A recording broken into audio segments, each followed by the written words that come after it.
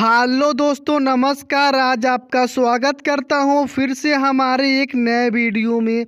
दोस्तों, आज हम बात करते हैं, हम अपने पशुओं को एनिमल फ़ीड सप्लीमेंट कब देते हैं और एनिमल फ़ीड सप्लीमेंट देने से पशुओं में क्या क्या फ़ायदे होते हैं, मैं आज आपको पूरी जानकारी इस वीडियो में बताने वाला हूँ।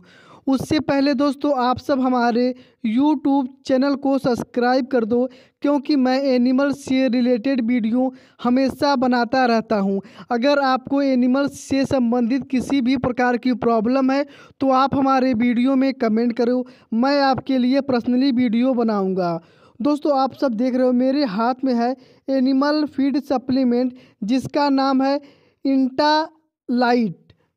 जी दोस्तों इंटा लाइट ओरल इसका नाम है और यह है एनिमल फ़ीड सप्लीमेंट। अगर आप अपने पशुओं को इंटा लाइट ओरल देते हो तो क्या क्या फ़ायदे होते हैं? सबसे पहले आप यह जान लो।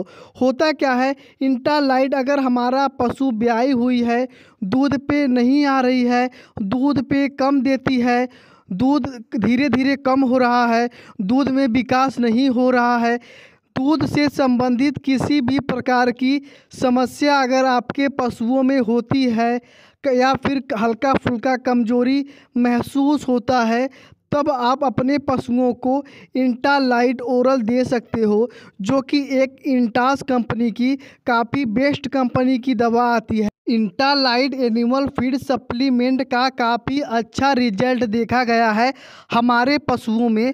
दोस्तों, मैं अपने पशुओं को इंटालाइट एनिमल फ़ीड सप्लीमेंट देता हूँ, जिससे हमारा पशु काफ़ी स्वस्थ के साथ साथ काफ़ी अच्छे दूध देते हैं। दोस्तों, आप भी अपने पशुओं में इंटा लाइट यूज़ कर सकते हैं।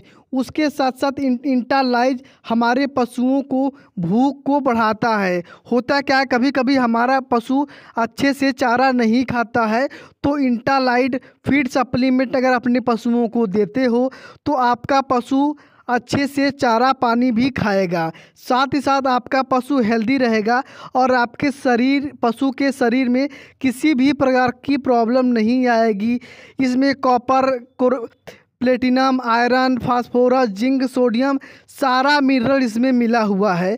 आपके पशुओं को यह एनिमल फ़ीड सप्लीमेंट सप्लीमेंट काफ़ी मदद करता है अपने, आपके पशुओं में ग्रो होने के लिए। तो दोस्तों, आप भी अपने पशुओं को इंटालाइट एनिमल फ़ीड सप्लीमेंट दे सकते हो। इसका कोई भी साइड इफ़ेक्ट नहीं है। दोस्तों, ख़ास बात तो ये है आप इंटालाइट को गाभिन और बिना गाभिन दोनों पशुओं को दे सकते हो। तो दोस्तों, वीडियो कैसा लगा कमेंट सेक्शन में ज़रूर बताना और हमारे चैनल को सब्सक्राइब करना। आज के लिए इतना ही, धन्यवाद दोस्तों।